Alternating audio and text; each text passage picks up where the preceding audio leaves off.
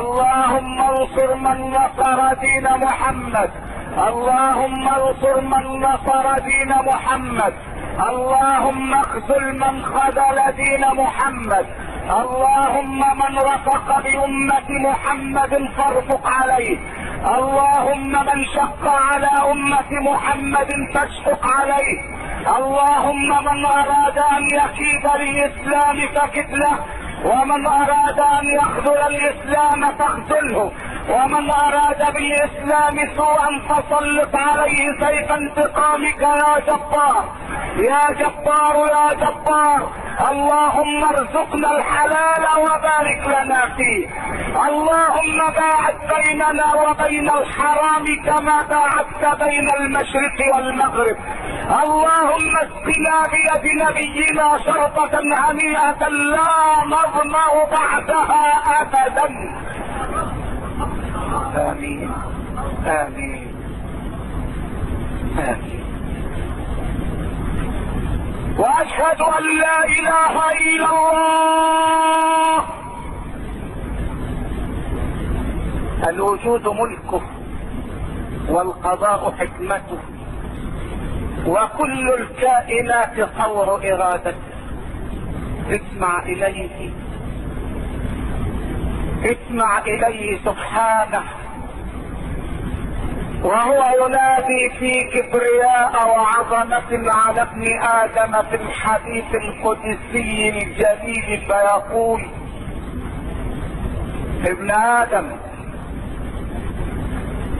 يا ابن آدم خلقت السماوات والأرض ولم أعي بخلقهن أفيهيني رغيف أسوقه إليك كل حين. ابن آدم ابن آدم لي عليك فريضة ولك علي رزق. فإن خالفتني في فريضتي لم أخالفك في رزقك.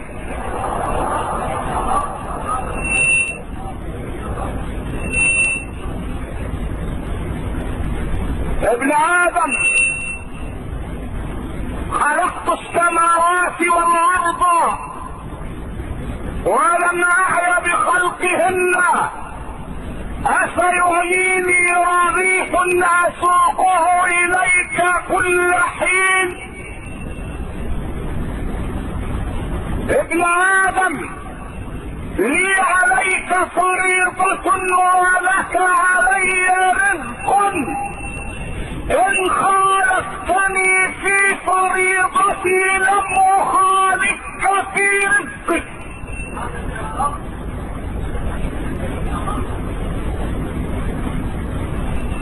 ان خالفتني في فريضتي لم اخالفك في رزقك قال إبراهيم لربه اجعل هذا بلدا آمنا وارزق أهله من الثمرات من آمن منهم بالله واليوم الآخر. فقال له مولانا جل في علاه ومن كفر؟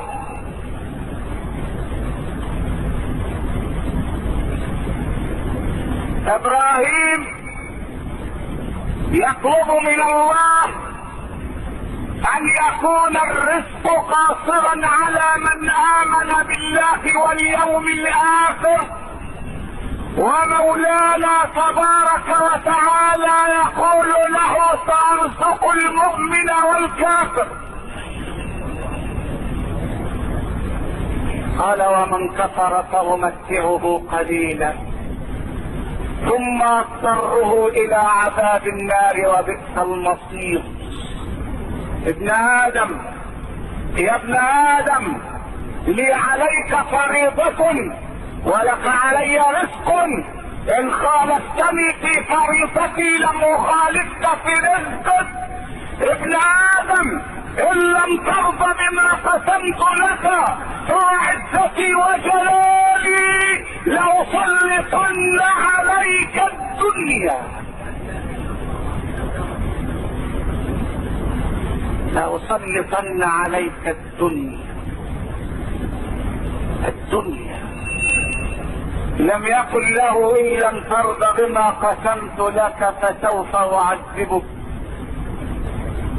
هناك ما هو أشد من العذاب. الدنيا. الدنيا إذا تسلطت على العبد لا ينام ليلا ولا نهارا ولا يشعر براحة البال.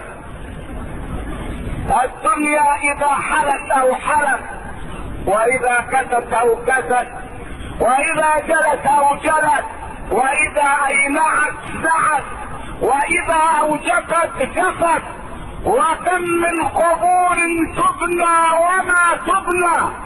وكم من مريض عدنا وما عدنا وكم من ملك رفعت له علامات فلما علامات.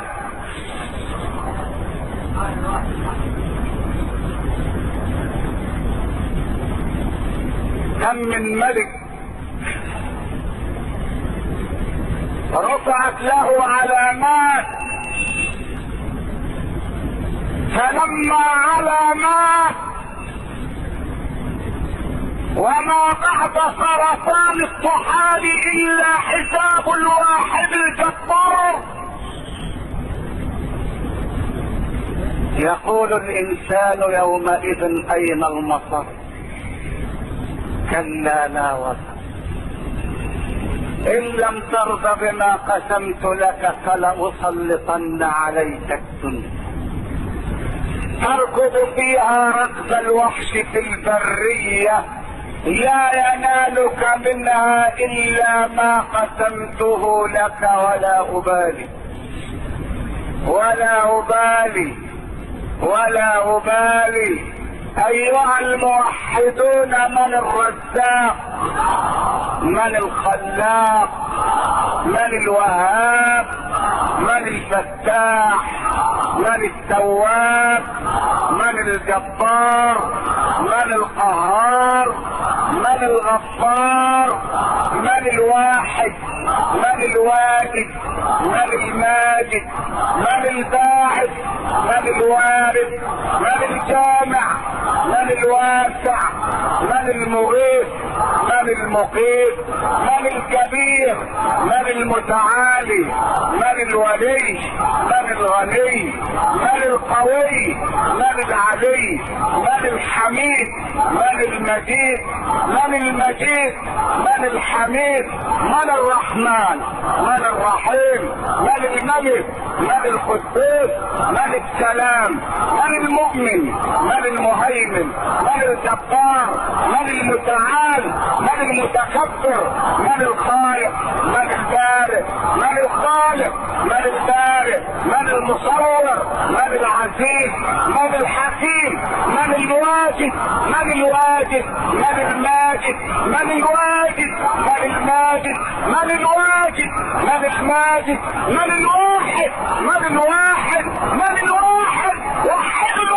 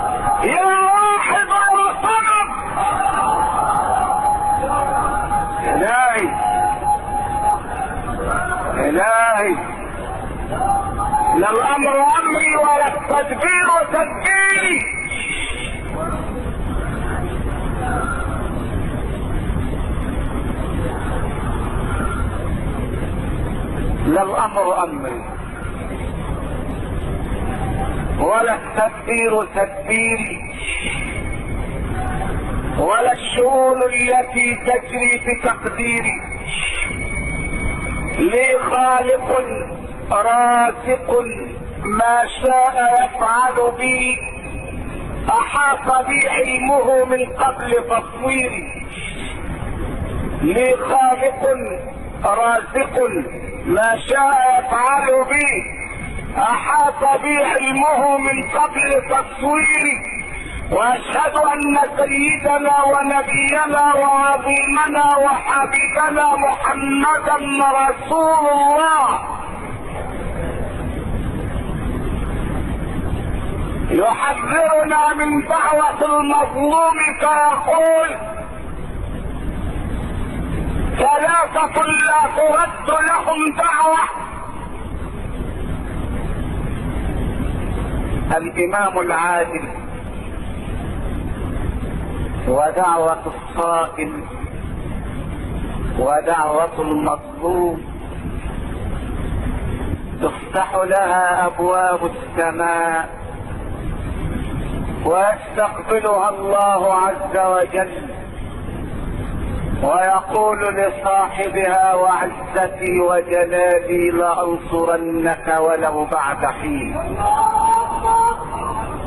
تفتح لها أبواب السماء. ويستقبلها رافع السماء ذاته. الله هو الذي يستقبلها. لا ينوب عنه جبريل ولا ميكائيل ولا إسرافيل ولا ملك الموت. الله جل جلاله بكبريائه وعظمته وجلاله وسلطانه وبهائه يستقبلها بنفسه.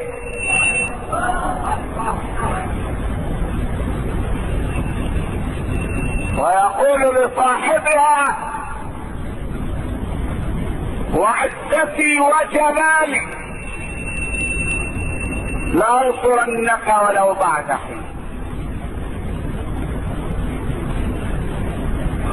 احذر من المظلوم سهما صائبا واعلم بأن دعاءه لا يحجب. احذر من المظلوم سهما صائبا واعلم بأن دعاءه لا يحجب. واذا رميت من الزمان بشدة. وأصابك الأمر لا شق الاصحاب فاطلع لربك اطلع لربك إنه أدنى لمن يدعوه من حبل الوريد واقربه اطلع لربك إذا رميت من الزمان بشدة وأصابك الامر لا شق واصحابه فاطلع لربك اطلع لربك إنه ادنى لمن يدعوه من حبل الوريد واقربه سيدي ابا القاسم يا حبيب الله. يا رسول الله صلى عليك الله يا علم الهدى ما هبت النسائم وما لاحت على الأيك الحمائم. أما بعد فيا حماة الإسلام وحراس العقيدة. اسمع إلى قول المصطفى. صلوات الله وسلامه عليه. وهو يقول اتق دعوة المظلوم فليس بينها وبين الله حجاب. أيها السادة الأعزاء أقف اليوم أمام محراب سعد. فسعد بن أبي وقاص كان مجاب الدعوة. فماذا حدث؟ انتقل بحضراتكم الآن من مدينة القاهرة إلى المدينة المنورة حيث عمر بن الخطاب خليفة. ومع الدرس الثاني والستين بعد المئة الثالثة. أستأذن بحضراتكم في الدخول على عمر. وعمر الآن أجده يقرأ شكوى قد وصلته من أهل العراق. لم تكن تلك الشكوى ذات موضوع سهل إنما كانت تحتوي على تهمة يعلم الله أنها باطلة باطلة باطلة. ولكن أستأذن أمير المؤمنين أن يقرأ علينا هذه الشكوى. إنها من أهل العراق والمشكو فيه هو سعد بن ابي وقاص وما موضوع الشكوى؟ إن سعدا بعدما فتح العراق ولاه أمير المؤمنين عمر على مدينة الكوفة أميرا. ومدينة الكوفة إحدى مدن العراق الكبرى. ولكن أهل العراق لا يثبتون على حال فأرسلوا إلى أمير المؤمنين عمر بشكوى يقولون فيها إن سعد بن أبي وقاص لا يحسن الصلاة. لا يحسن الصلاة. لو أن هذه الشكوى قدمت في واحد منا إلى أي حاكم من حكام المسلمين اليوم وقيل له إن فلانا لا يحسن الصلاة فسوف يقرأها الأمير بسرور ويرسل إلى هذا الذي لا يحسن الصلاة ويوليه منصبا من المناصب الكبرى. لأن الذين يحسنون الصلاة خطر على المجتمع. والذين لا يحسنونها مواطنون صالحون. هذه الشكوى خطيرة. تساوي في زماننا التهمة التي يرددها الظالمون. اتفاق جنائي على قلب نظام الحكم بالقوة. لا تقل خطرا عن هذه التهمة. فماذا يصنع عمر؟ وعمر لا يأخذ الناس بالظنة ولا يعاقبهم بالتهمة. عمر لا يأكل من تقرير كتبه ظالم. إنما كان يحقق وكان يدقق ولم يكن وراءه بطانة سوء. ولم يكن الله هيئة منتفعين. ولم يكن الله أرض القناة إنما كان يستمد الأمر من الواحد الحي الذي لا يموت.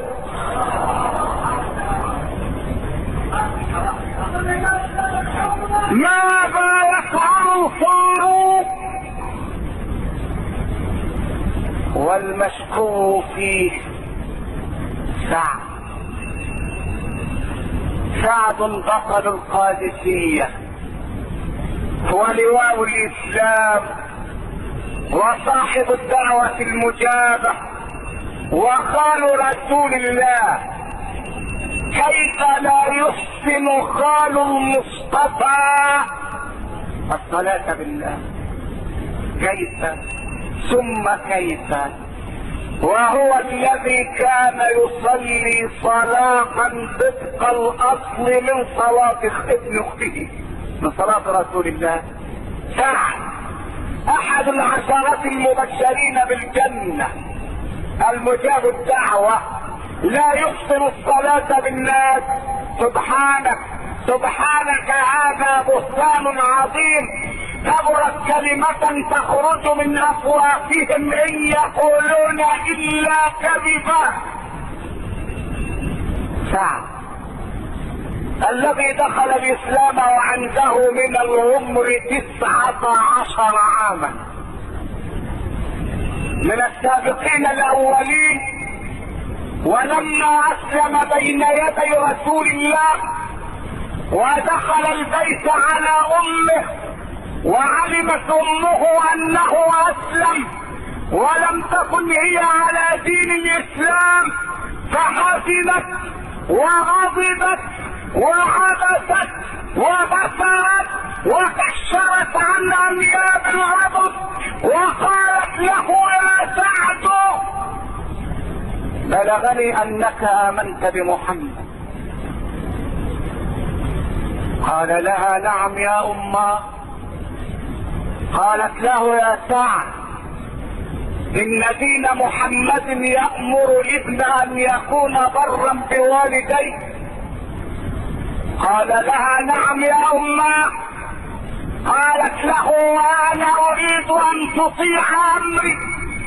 إن كنت برا بي فاطع أمري. قال لها مري يا أمة. قالت له أمه امرك ان تكفر بمحمد وإله محمد؟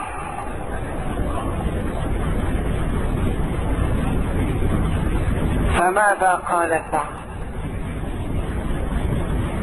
قال لها كلمة لو مزجت في البحر لمزجته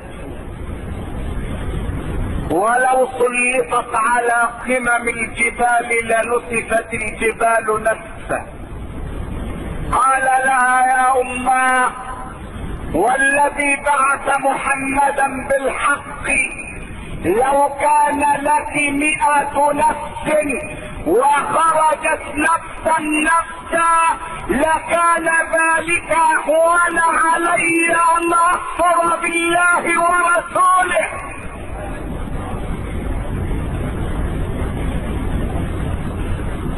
نفوس.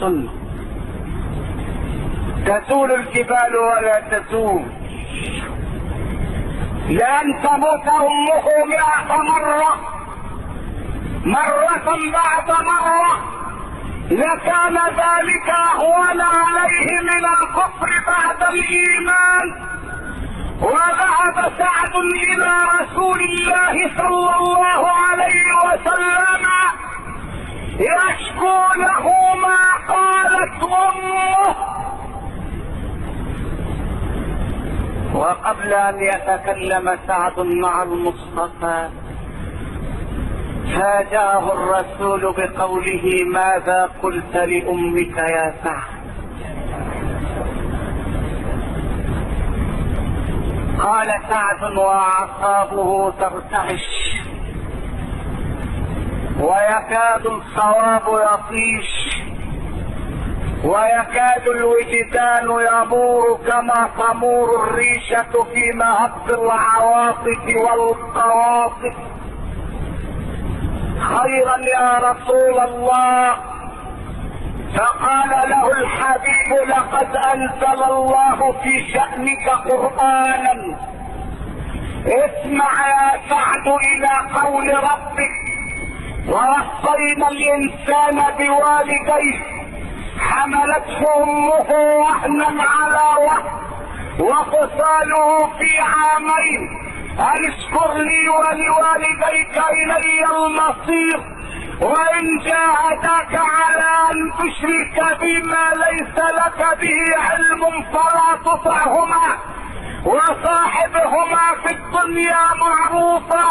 واتبع سبيل من آناب إلي ثم إلي مرجعكم فأنبئكم بما كنتم تعملون. وصيناه بوالديه. وقبل أن يذكر الوصية فصل بينها وبين الأمر بفاصل يبين فيه ما عانت الأم. ما عانت الأم. لم يقل ووصينا الإنسان بوالديه إحسانا. في سورة لقمان إنما قال وصينا الإنسان بوالديه وبعد ذلك قال حملته أمه وهنا على وهن ضعفا على ضعف وشدة بعد شدة بأي شيء وصيته يا رب أن اشكر لي ولوالديك. قرن شكر الله بشكر الوالدين. اشكر لي ولوالديك. ثم ماذا ثم ماذا عاقبة الآية وخاتمتها تخشع لها القلوب. والصاف بالوالدين.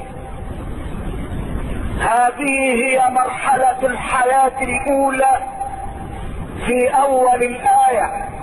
وفي آخر الآية يطوي الوجود طيا كطي السجل للكتب ويدوس الدنيا بسرعة ويلفها كما يلف البرق معصرات الغمام.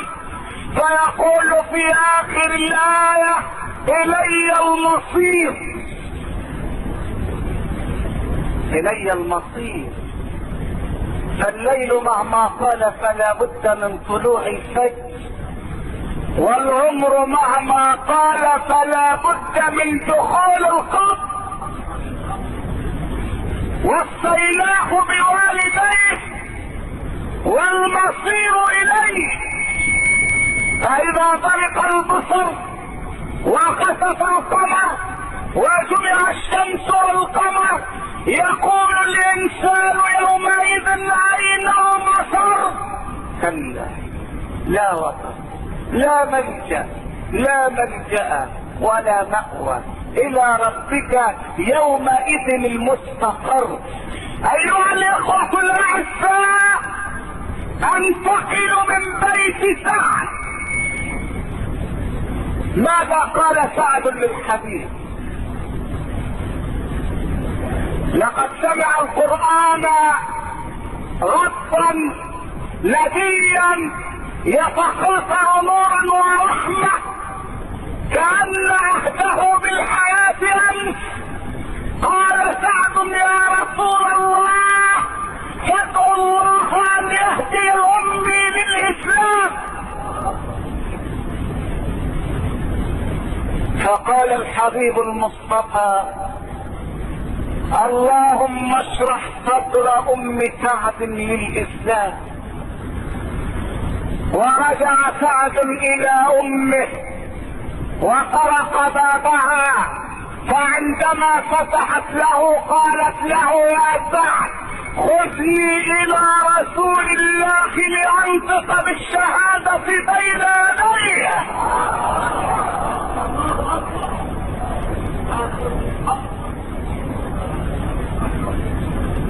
إلي المصير. إلي المصير. ولم يقل المصير إلي إنما قال إلي المصير. فإلي جار ومجرور خبر مقدم والمصير مبتدأ مؤخر. وإنما قدم المسند على المسند إليه أو قدم الخبر على المبتدأ أو قدم المحمول على الموضوع بلغة المناطقة أو البلاغيين أو النحاة. إنما قدم الخبر على المبتدأ ليفيد الحصر والقصر ليقول لك إن المصير إلي أنا وحدي لا إلى غيري. لا تظن أن المصير إلى غيري. فالمصير إلي أنا فأنا مالك يوم الدين. يا الله الذي لا إله إلا هو الحي القيوم. إلي المصير. لا إلى غيري. معشر الإخوة وأرسل أمير المؤمنين إلى محمد بن أبي مسلمة رئيس التحقيقات في مكتب إمارة المؤمنين. وقال له يا ابن مسلمة خذ هذه الشكوى وسافر إلى مدينة الكوفة. وحققها. واسأل أهل العراق عن سعد.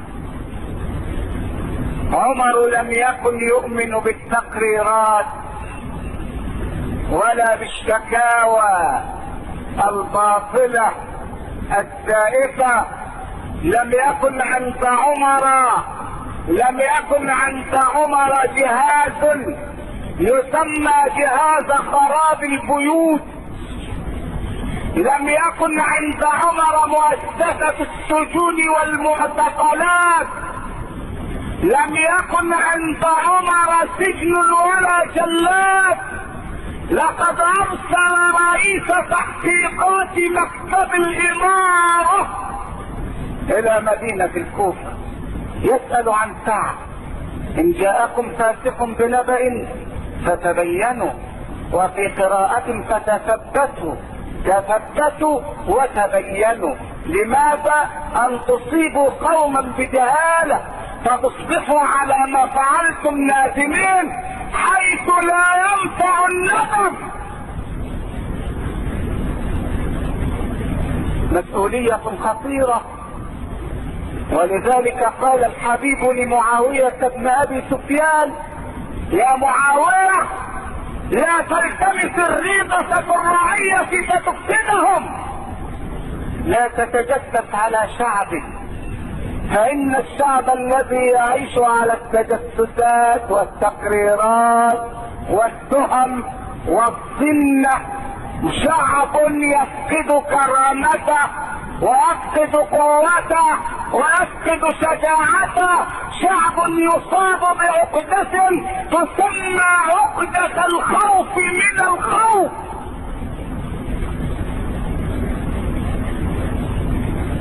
يا معاوية بن أبي سفيان لا تلتمس الريبة في الرعية فتفسده وهذا هو النظام الفاشل. الولد يخاف من أبيه والأب يخاف من ابنه والأم تخاف من زوجها. مجتمع الرعب مجتمع الخوف. وضرب الله مثلا قرية كانت آمنة مطمئنة يأتيها رزقها رغدا من كل مكان فكفرت بأنعم الله فأذاقها الله لباس الجوع والخوف بما كانوا يصنعون. أذاقها الله لباس الجوع والخوف. أعظم نعمتين من نعم الله الأمن والشبع. فليعبدوا رب هذا البيت الذي أطعمهم من جوع وآمنهم من خوف. وتأمل معي هذا الترتيب القرآني الرائع في أسمى درجات البلاغة. لم يقل فألبسها الله لباس الجوع والخوف إنما قال أذاقها. لو قال ألبسها لباس الجوع والخوف لكان الجوع والخوف ظاهريا كاللباس على الجسم إنما أذاقها أي أن الجوع والخوف تغلغل في دمائها كما يتم الطعام إذا ما اكله الإنسان وذاقه بلسانه. منتهى النقمه والغضب أذاقه. كأن الجوع والخوف صارا طعامين. أو صارا مذاقين ذابا في الدماء. يا معشر الإخوة وذهب محمد بن مسلمة إلى أهل الكوفة إلى بلاد العراق. كيف حال سعد فيكم؟ ألا يحسن الصلاة؟ فيسكت أهل العراق. وأهل العراق كما عودونا لا يثبتون على حال. لا يثبتون على حال. اللهم أصلح حال المسلمين يا رب العالمين.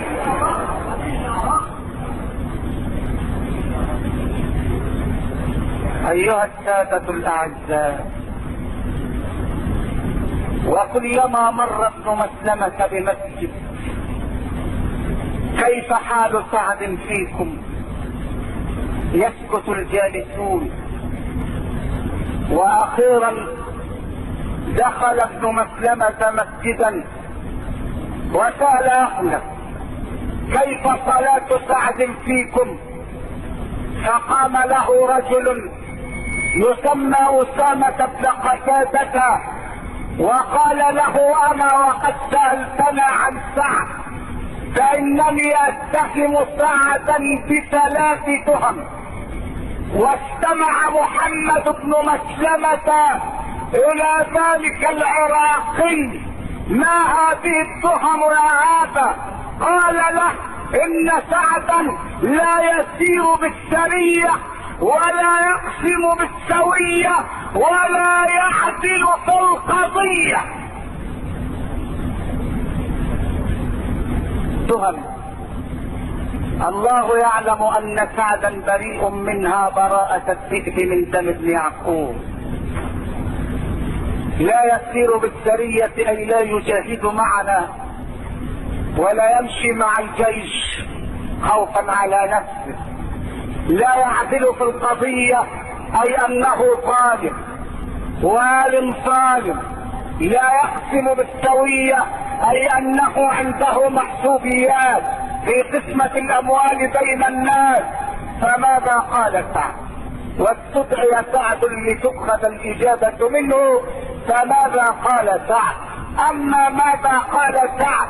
فإن المقام لا يتسع لما قال ولذلك أجد لزاما علي أن أعود بحضراتكم من هنالك حيث أمير المؤمنين عمر إلى هناك حيث مدينة الكوفة إلى هنا وما أدراك ما هنا؟ هنا مدرسة محمد صلى الله عليه وسلم مكتوب على بابها وما أرسلناك إلا رحمة للعالمين أيها الإخوة الأعزاء اذكروا الله يذكركم واشكروه يزدكم. هنا مدرسة محمد صلى الله عليه وسلم مكتوب على بابها وما أرسلناك إلا رحمة للعالمين. أيها الإخوة الأعزاء اذكروا الله يذكركم واشكروه يزدكم واستغفروه يغفر لكم وتوبوا إلى الله جميعا. أيها المؤمنون لعلكم تفلحون.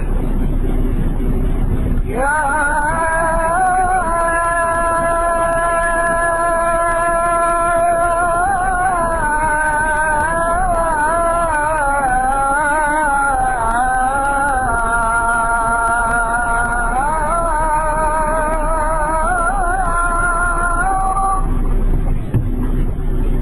الحمد لله رب العالمين. وأشهد أن لا إله إلا الله ولي الصالحين. وأشهد أن سيدنا ونبينا وعظيمنا وحبيبنا محمدا رسول الله خاتم الأنبياء والمرسلين. أيها السادة الأعزاء والآن أنتقل بحضراتكم إلى مدينة الكوفة حيث نستمع إلى الإجابة من خال رسول الله. وأحد العشرة المبشرين بالجنة الرجل المجاب الدعوة. قال العراقي أسامة بن قتادة إن سعدا لا يسير بالسرية ولا يقسم بالسوية ولا يعدل في القضية. وهنا نظر المحقق إلى سعد ماذا تقول يا سعد قال سعد أما ماذا أقول فلن أقول لك أنت. إنما سأرفع شكواي إلى الله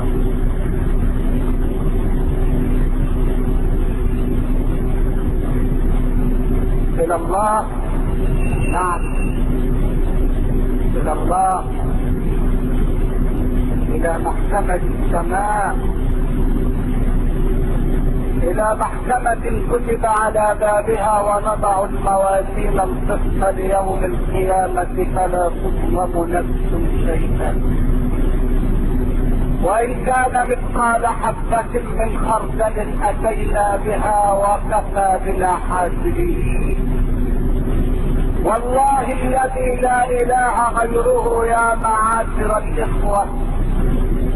لقد عاصرت مشكلة ما قرأتها في كتابي ولا وقفت أمام صفحة من صفحات مكتوبة إنما عاصرتها بنفسي وما زلت أذكرها كما أذكر اسمي. مشكلة عاصرتها. كان لي صديق أراد أن يزوج ابنه وعثر على زوجة عند أحد أصدقائه. وعقد عقد الزواج عقد زواج ابنه على بنت صديقه. وبعد عقد الزواج حصل أن العروس فظهر لها عريس أوجها من العريس الأول. مرتبه أكبر. وجسمه اسود ومكانته أعظم. ودب النزاع بين الصديقين. أبو العروسة يريد من صديقه أن يطلق ابنه ابنته. وأبو العريس يقول دفعت لك مهرا قدره خمسمائة جنيه ولم أكتب عليك وصل أمانة ولم أكتب ذلك في عقد الزواج. فأعطني مال ابني وسنطلق ابنتك. فقال أبو العروسة أنا ما أخذت منك درهما ولا دينارا. ورفع الأمر إلى القضاء. إلى قاضي الأرض. إلى محكمة الأرض. ووقف الصديقان أمام القاضي. أبو العريس يريد ماله. وأبو العروسة يريد طلاق ابنته وينكر أنه اخذ شيئا. وسأل القاضي ابا العريس هل اعطيته مالا قال نعم. ما مقداره خمسمائة جنيه؟ نقدا وعدا. قال الرجل لقد وضعتها له في ظرف أليف حتى لا أحرجه. فقال القاضي يا أبا العروسة هل أخذت منه خمسمائة جنيه؟ قال لا. قال القاضي لأبي العريف ماذا تريد منه؟ قال أبو العريف أريد منه يمين الله. قال القاضي لأبي العروس أتحلف يمين الله؟ قال نعم.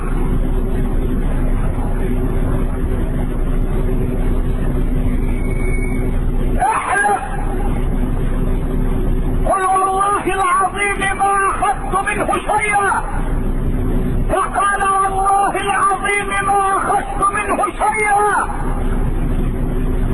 فحكمت المحكمة برد الدعوة. وخرج أبو العريش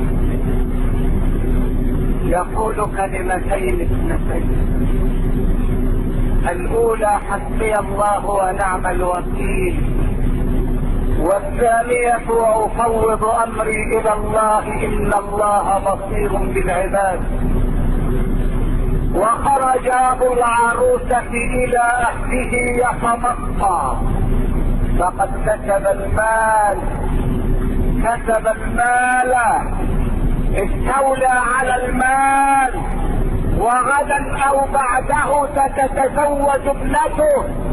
بعريس يليق بمكانتها الاجتماعية من ذوي النجوم اللوامع ذهب إلى أهله يتمطى ولم يكن يعلم بأي شيء حكمت محكمة السماء. إنه سمع النطق بحكم محكمة الأرض ولم يسمع الحكم الذي حكمه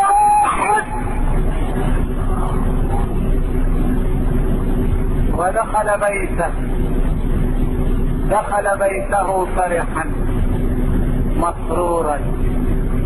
وقبل أن يجفف عرقه قالت له زوجته وقبل أن تسأله عن حكم المحكمة قالت له إن فلانة اي العروسه أي ابنتنا تشكو مرضا والما شديدا.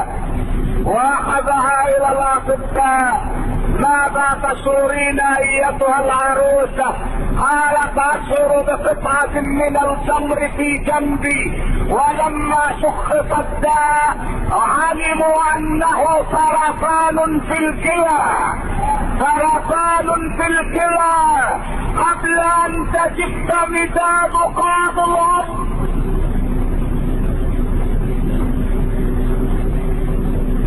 قبل قاض الأرض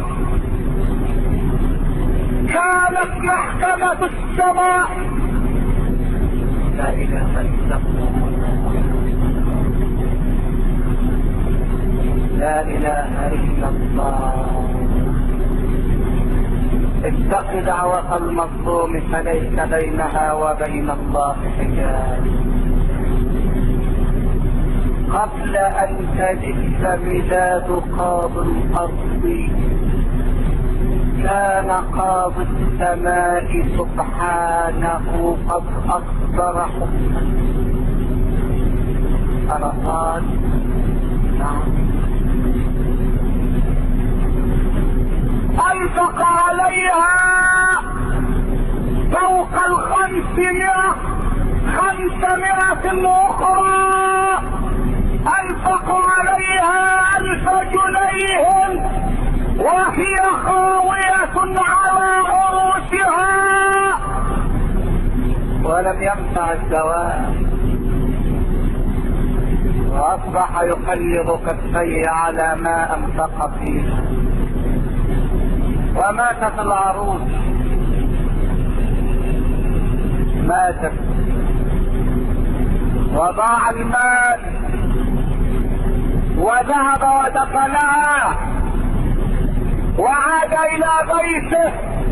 وقبل أن يجتمع الناس للعزاء شكى هو من نفس الالم في جنبه. وشخص داره فاذا هو سرطان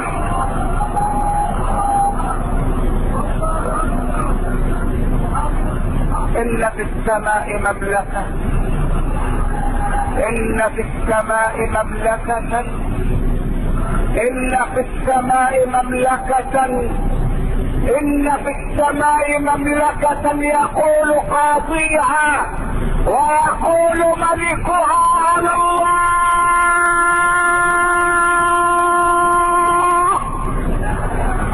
على الله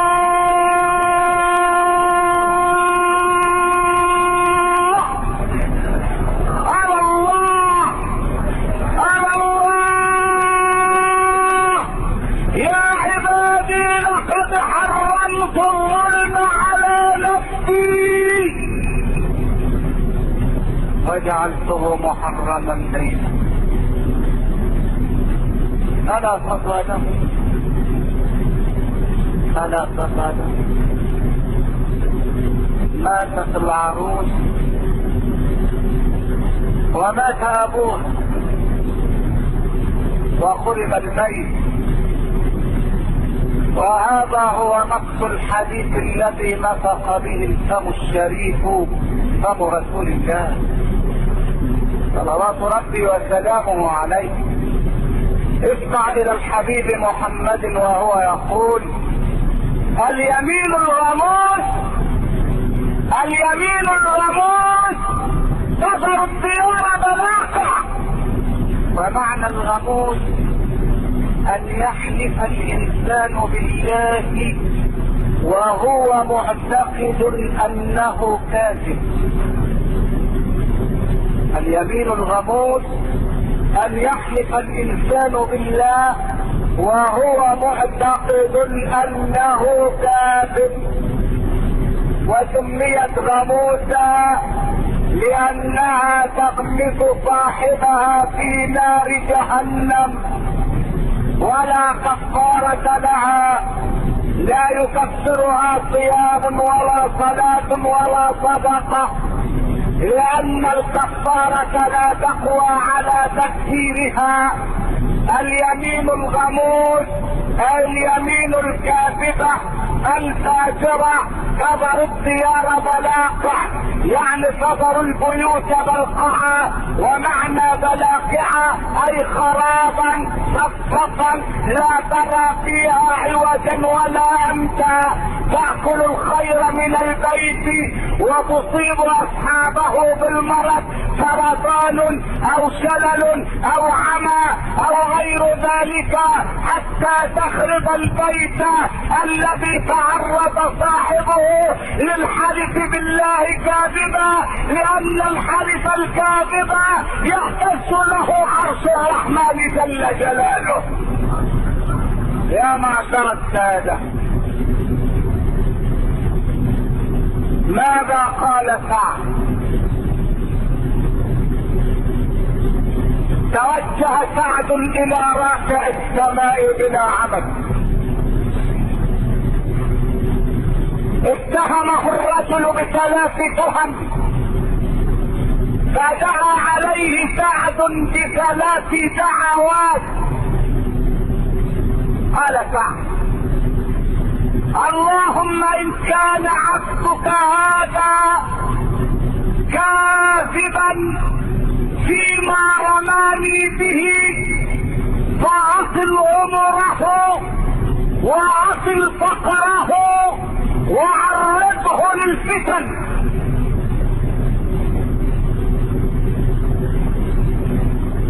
دعوات ثلاث.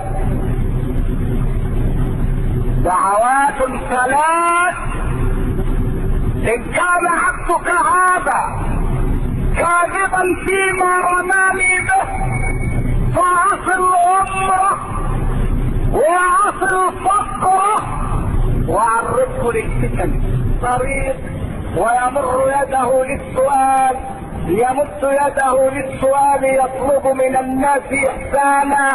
فإذا مرت به امراه رمسها بيده فيقول له الناس أيها الشيخ الكبير ألا تستحي من الله وأنت تغمس النساء بيدك؟ فيقول لهم وماذا أصنع؟ إنني شيخ كبير أصابته دعوة سعد. طال عمره سقط حاجباه على عينيه. صار فقره مد يده للسؤال؟ عرض للفتن فكان يغمس النساء. إن في السماء مملكة. إن في السماء مملكة. منذ عام مضى مات أحد الناس. في أحد الأحياء الشعبية في مدينة القاهرة. ولما ذهبوا ليدفنوه جاء الدافن وفتح القبر ونظر في القبر ليدخل ويحسن الأمانة. فوجد داخل القبر ثعبانا ما رأى أعظم منه ابدا. فخرج الرجل من القبر فجعا وقال نفتح قبرا آخر. وفتح قبرا ثانيا فوجد فيه ثعبانا شبيها بالأول. قال نفتح قبرا ثالثا. وفتحوا القبر الثالث فوجد كأن الثعبان نفسه قد انتقل إليه فماذا يصنعون؟ أيفتحون القبور كلها أم ماذا يفعلون؟ فقال الدافن للثعبان أيها الثعبان أستحلفك بالله. أن تخرج حتى أدفن الميت. أستحلفك بالله. أقسمت عليك بالله. لتخرجن حتى أدفن الميت. وإذا بالثعبان يخرج كأنه يسمع ويعقل. ودخل الدافن ودفن الميت. وخرج. وقال لمن حوله سلموني الطوبة الاسمنت لاسد القبر بسرعة قبل أن يدخل الثعبان وقبل أن يكمل كلامه. وجد الثعبان يجري إلى داخل القبر.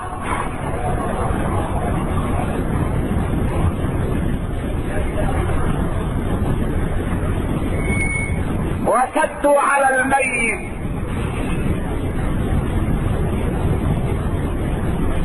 يا من بدنياه اشتغل.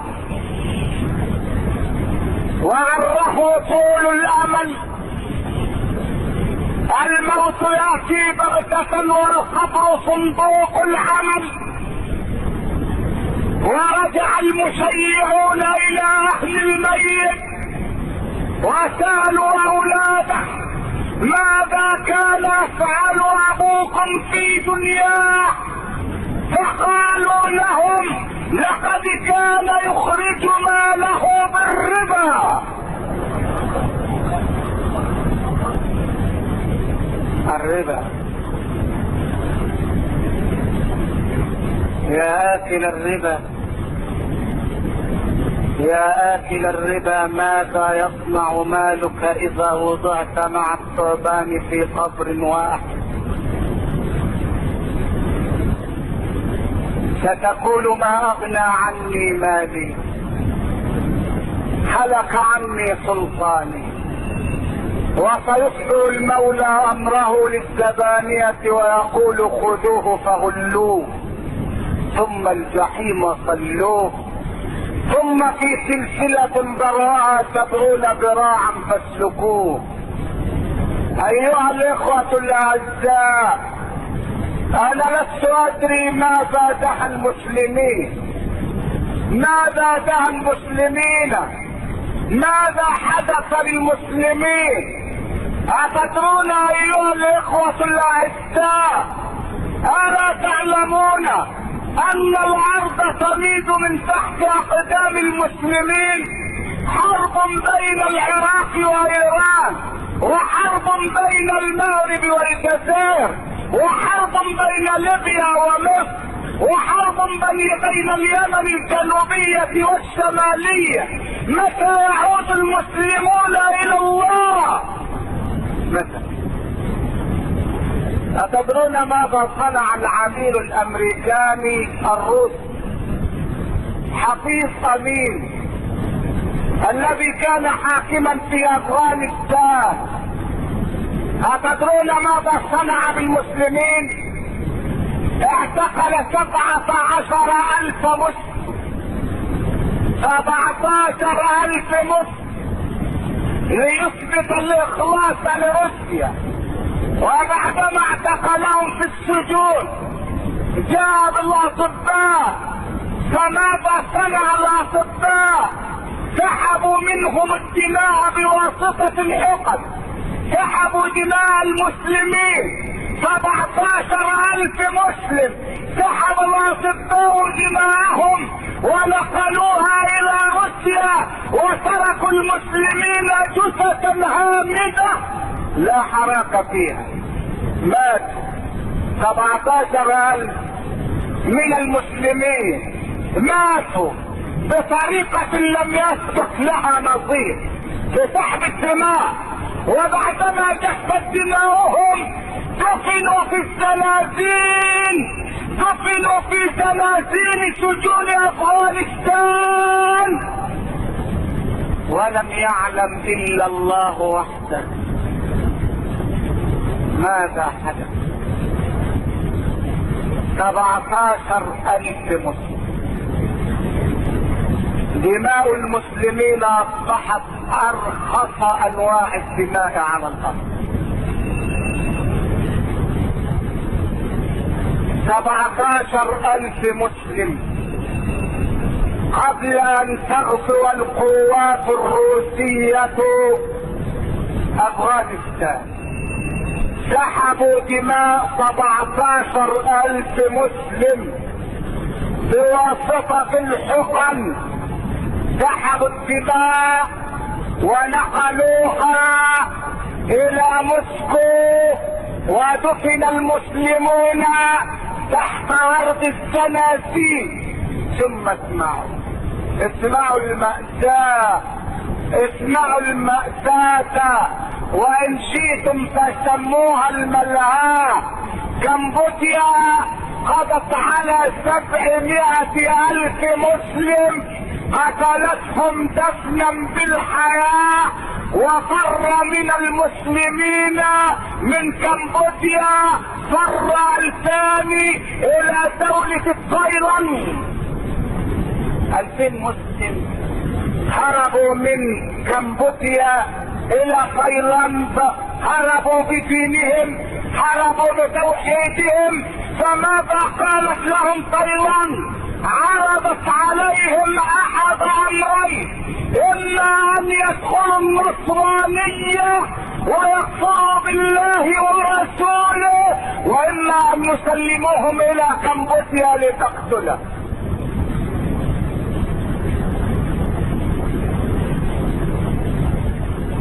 هذه دماء المسلمين. ألفين. مسلم ألفا مسلم هربوا بدينهم من القتل الجماعي في كمبوديا. كمبوديا قتلت سبعمائة ألف بطريقة هي طريقة أصحاب الأخدود حفروا لهم في الأرض ودفنوهم أحياء. وهم الذين حفروا قبورهم بأيديهم ثم دفنوهم فيها. وادوهم وادوهم فر منهم الفان اثنان إلى تايلاند دولة مسيحية صليبية نصرانية. فماذا قالت لهم هذه الدولة إما أن تتنصروا وإما أن نسلمكم إلى كمبوديا لتقتلوا. ولقد قام الأخ المستشار علي جريشة جزاه الله خيرا. بعرض اللجوء لجوء الألفين على إحدى الدول الإسلامية التي تعتبر أغنى دولة بالبترول فرفضت لجوءهم إليها.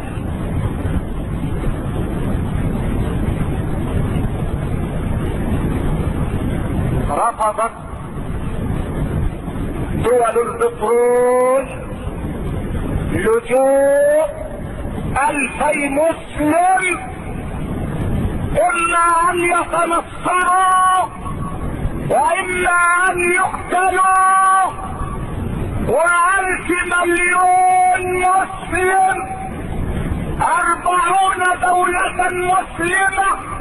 رفضت لجوء ألفين من الموحدين. إلى أرضه. وبعد ذلك يقال إن المسلمين يريدون أن يعتدوا على الوحدة الوطنية. ما هذا الكلام الفارغ؟ ما هذا الكلام الذي لا معنى له؟ المسلمون هم المظلومون على وجه الأرض. هم الذين تضاح دماؤهم ويقتلون بالألوف المسلمون لا يعرفون الفرقة ولا يعبثون بالوطنية إن الوطنية عند المسلمين عقيدة وليست حرفة وليست ارتزاقا. المسلمون هم المظلومون ضاعت حقوقهم ضاعت حقوقهم في القصة الغربية وفي مدينة القدس وفي الأندلس وفي جزر البحر الأبيض. وفي روسيا! وبعد ذلك يزدحم المسلمون لأنهم يريدون أن يفتتوا الوحدة الوطنية. من قال هذا الكلام؟ كبرت كلمة تخرج من أفواههم. إن يقولون إلا كذبا. الفين مسلم! لا يجدون من يأويهم ويحويهم ويحميهم. لا يجدون من يأويهم من يأويهم. وأربعون دولة تدين بالإسلام. رفضت أن تأوي هاتين الألفين إلى أرضها لو كانوا يهود لآويناهم لو كانوا شيوعيين لفتحنا الباب امامهم ولكن العيب في الألفين أنهم قالوا ربنا الله.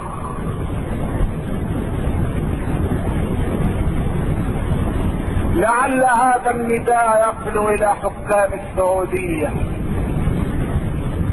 اللهم إني أنادي عليهم وأنا في هذا المكان فأسألك أن تبلغ هذا الصوت إليهم. لينقذوا عبادك. إلى السعودية بلد المسجد الحرام وبلد رسول الله. إلى البلد الغني بالبترول. إلى البلد الذي جعله الله مثابة للناس وأمنا. اللهم بلغ هذا الصوت إلى أسماعهم ليسمعوه. اللهم انصر عبادك المسلمين يا رب. أيها الإخوة الأعزاء يا أبناءنا الطلبة الامتحانات على الأبواب حاصلوا الليل بالنهار وذاكروا بالليل والناس نيام تدخلوا الامتحان بسلام. نريد الطبيب المسلم والمهندس المسلم والصيدلي المسلم والمحامي المسلم والقاضي المسلم والمحاسب المسلم والجندي المسلم والمدرس المسلم والكاتب المسلم والأديب المسلم كونوا أنتم الأوائل كما كان نبيكم محمد هو الأول في جامعة الأنبياء.